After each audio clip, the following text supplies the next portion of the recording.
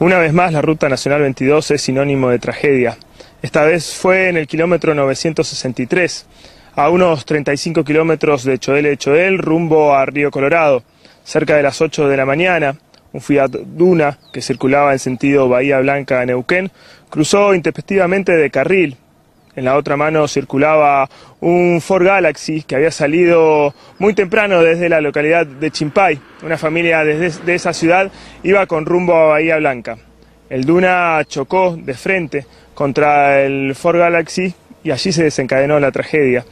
Murieron tres personas de las cuatro que ocupaban el Fiat Duna.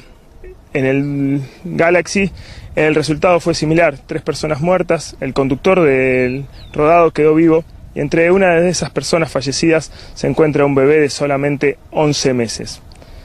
El conductor del Fiat Duna alcanzó a relatar a la policía y al fiscal que se hizo casi prácticamente presente de inmediato en el lugar que había sentido un ruido en la dirección y eso derivó de que el auto cruzara intempestivamente de carril e impactara frontalmente con el Ford Galaxy que quedó volcado sobre la banquina norte de la ruta 22.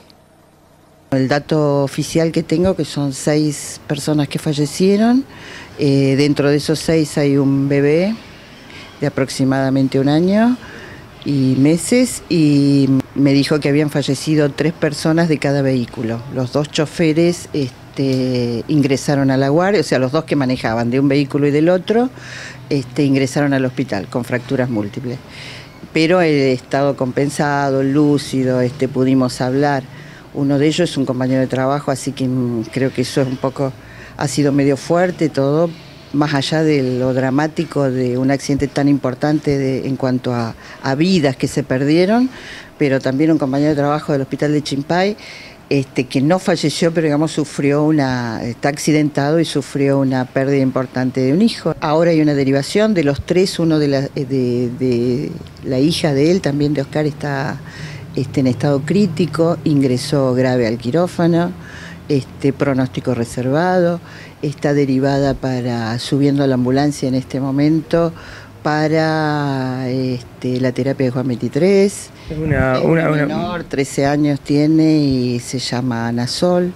Lo que se le hizo acá en este hospital es este, la extracción del vaso eh, por el golpe, digamos, que tenía, estaba haciendo una hemorragia.